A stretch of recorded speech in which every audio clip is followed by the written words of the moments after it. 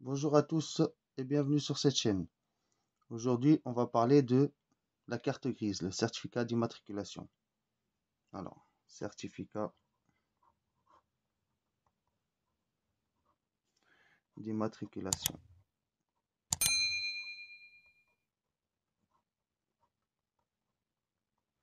Voilà. Alors, on va commencer par... commence par l'immatriculation déjà.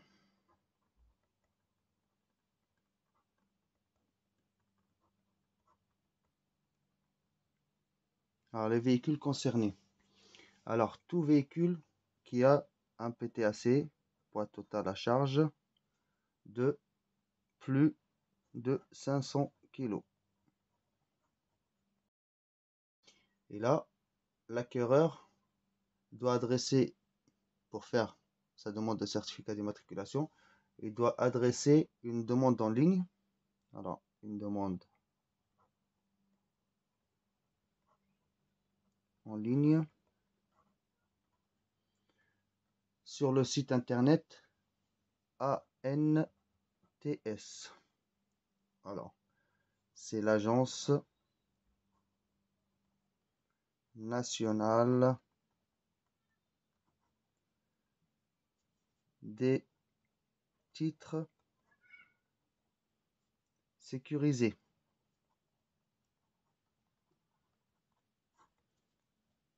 ANTS. Voilà. Et alors, il doit joindre des documents. Alors, les documents, les documents qu'il doit joindre doivent être dématérialisés.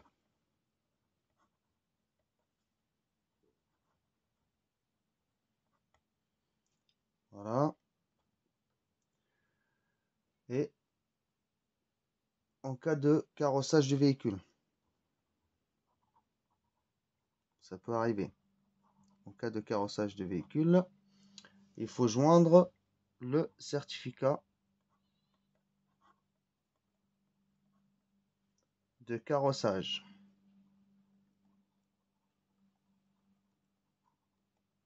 Voilà, ça c'est pour la demande d'immatriculation. Alors, en cas de changement de propriétaire, changement de propriétaire.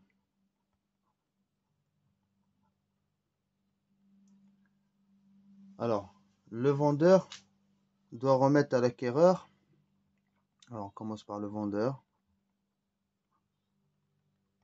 Qu'est-ce qu'il doit faire le vendeur? Alors, il doit remettre à l'acquéreur les documents du véhicule. Les documents du véhicule.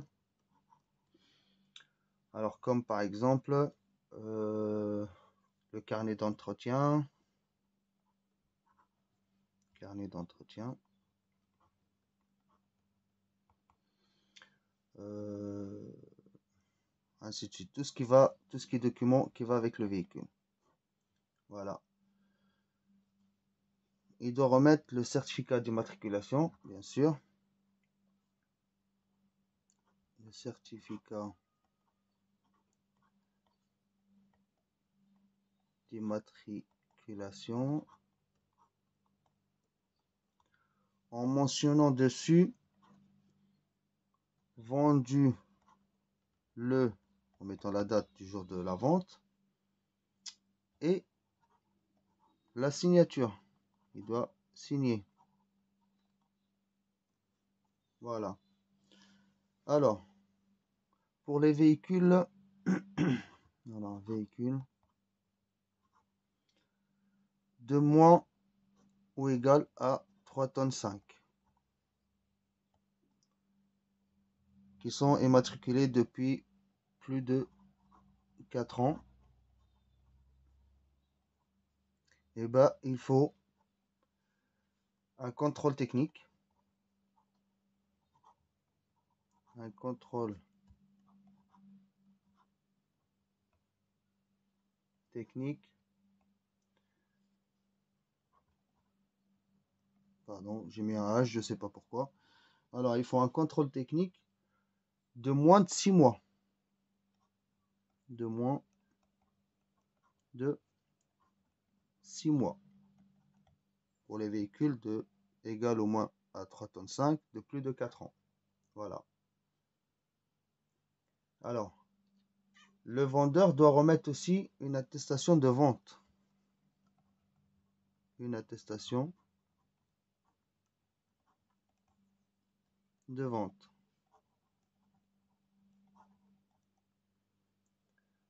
Voilà pour le vendeur. Alors, pour l'acquéreur.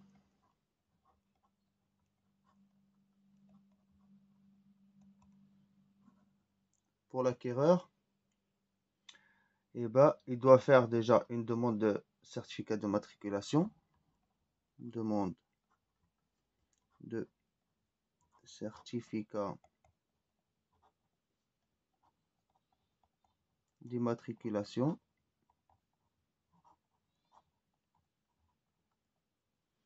Alors pareil, sur le site ANTS, ANTS, l'Agence nationale des titres sécurisés, dans le mois suivant l'achat. Dans le mois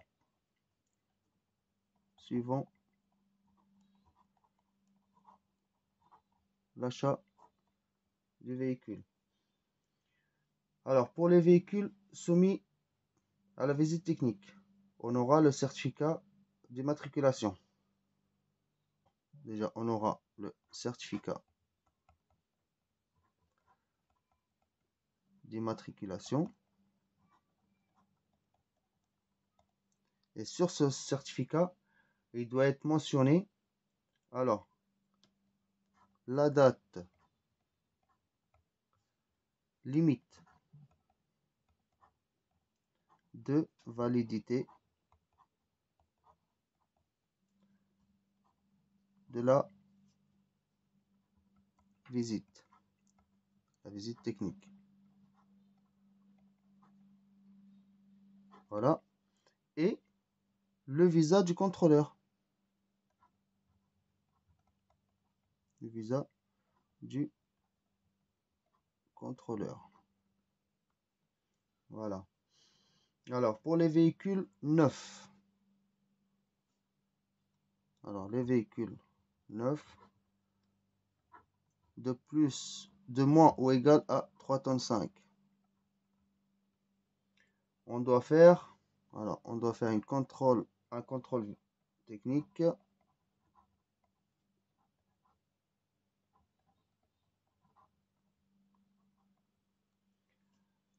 Comme c'est neuf, avant la fin, avant la fin de la quatrième année. Pour les véhicules neufs. Et après, c'est tous les deux ans.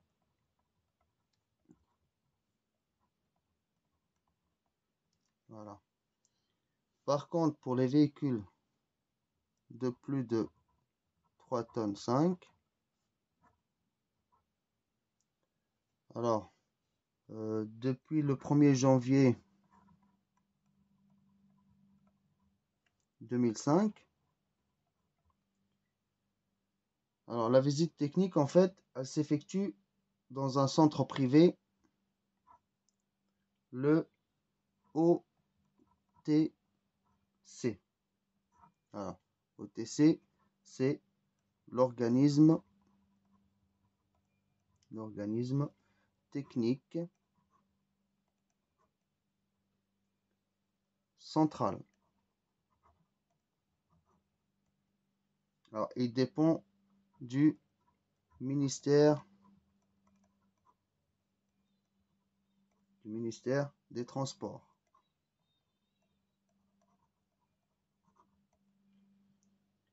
Alors, pour ces véhicules, les visites sont obligatoires tous les 12 mois. Tous les 12 mois. Et en cas d'accident, le préfet, en fait, il peut exiger une contre-visite avant l'expiration du délai. Voilà. Alors, concernant le, le déroulement de la visite. Alors, déroulement de la visite.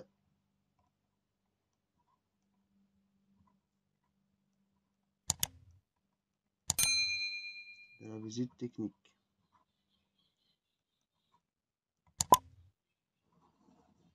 Comment ça se passe? Alors, on commence par le propriétaire. Que doit faire le propriétaire?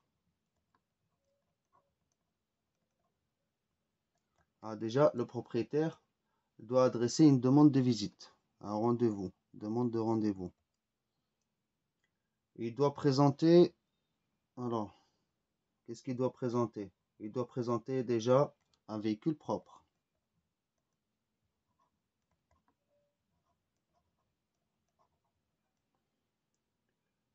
Le carnet d'entretien. Carnet d'entretien. Il doit présenter aussi le certificat d'immatriculation.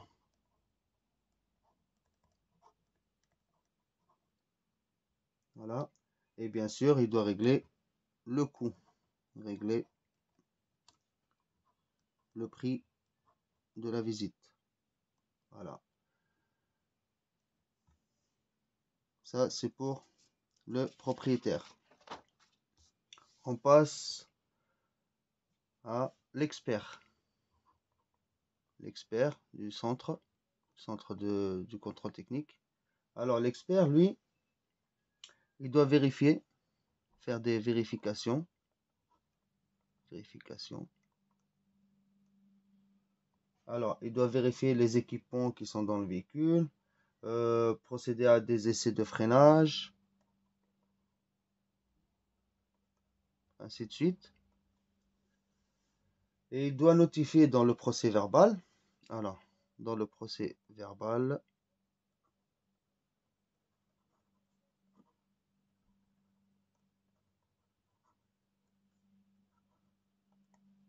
Alors, qu'est-ce qu'il doit notifier? Alors, il doit notifier les décélérations.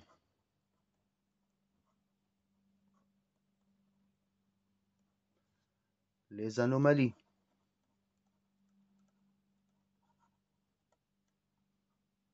Les réparations à effectuer.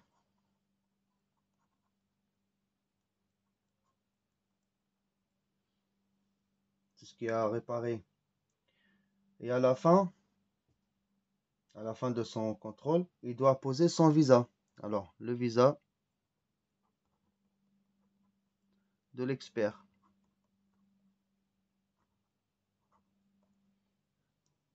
Alors,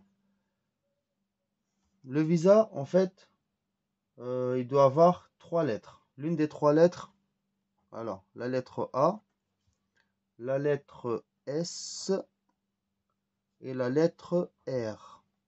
L'une des trois lettres doit être sur le visa, sur la carte grise. Alors, euh, la lettre A. La lettre A, en fait, c'est pour dire, alors ça, ça veut dire accepter avec alors avec la date limite.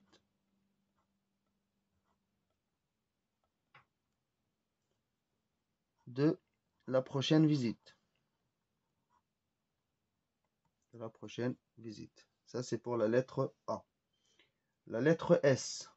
Alors c'est pour dire refuser. Alors S sont interdiction sans interdiction de circuler de circuler avec la date limite de la contre-visite. Alors avec la date limite de la contre visite. Et à la fin, la lettre R, c'est pour dire refuser. Voilà. Avec interdiction de circuler. Interdiction de circuler. Voilà à peu près comment ça se passe pour la demande de certificat d'immatriculation et comment ça se passe? Au contrôle technique. Merci d'avoir suivi cette vidéo jusqu'à la fin. N'oubliez pas de vous abonner, de liker et s'il y a des commentaires ou des questions, n'hésitez pas à les mettre en dessous de cette vidéo. Merci.